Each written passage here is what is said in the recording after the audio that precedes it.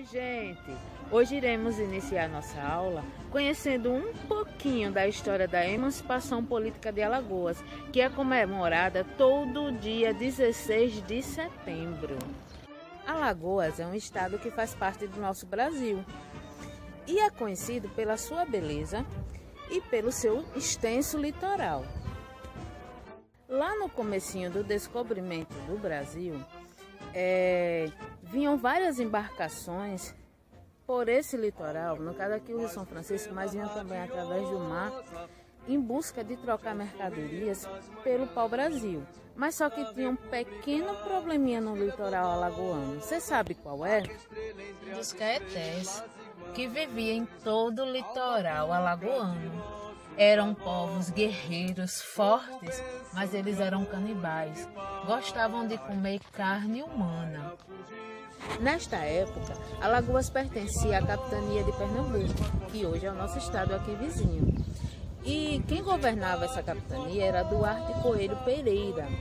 Ele era um grande incentivador do dos engenhos. Ele queria bastante engenhos, tanto em Alagoas como em Pernambuco, que era para poder moer a cana e formar o açúcar, que naquela época valia ouro. Mas não era só o açúcar que era um produto de destaque aqui no nosso estado, não. Tínhamos também a criação de gado. Esse gado era utilizado tanto para o transporte como nas moendas da cana-de-açúcar. É, o peixe seco, que o peixe seco era um, um alimento da cultura de Pernambuco e como Alagoas tinha, tinha não, né? Tem esse litoral vasto, fabricava também esse peixe seco para levar para Pernambuco. E tinha também o fumo, que até hoje é considerado ouro verde em Arapiraca. Alagoas foi palco de vários combates. E eu vou destacar dois para vocês. O primeiro deles é a invasão holandesa, que teve invasão holandesa aqui na nossa cidade. O segundo eram as lutas dos quilombolas, que eram os africanos que lutavam pela sua liberdade, deixando em destaque o quilombo dos Palmares. Bom, gente, como eu tinha falado anteriormente que Alagoas foi palco de invasões holandesas, aqui em Penedo também teve invasão. E essa cruz ela representa a expulsão desses holandeses naquela época, que ocorreu, que ocorreu em 1645.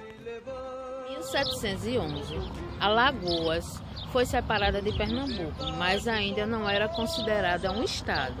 Só em 16 de setembro de 1817, Dom João VI, rei de Portugal, assinou um decreto nomeando Alagoas como um estado. E foi assim que nos tornamos livres. E vamos conhecer um pouquinho mais sobre, sobre o nosso estado, umas curiosidadezinhas, certo? Nosso primeiro governador foi Sebastião Francisco de Melo Polvas. Nossa primeira capital foi Marechal Deodoro, que era conhecida como Alagoas do Sul. Depois, em 19 de dezembro de 1839, foi mudada para Maceió, que era conhecida como Vila de Maceió. Agora vem a melhor parte, viu? Fiquem sabendo que os dois primeiros presidentes do Brasil eram filhos da nossa terra, eram alagoanos. Marechal Deodoro da Fonseca e Floriano Peixoto, que era marechal também. E desfrutem da beleza da nossa terra. Olha só que paisagem mais linda. Tchau e até a próxima!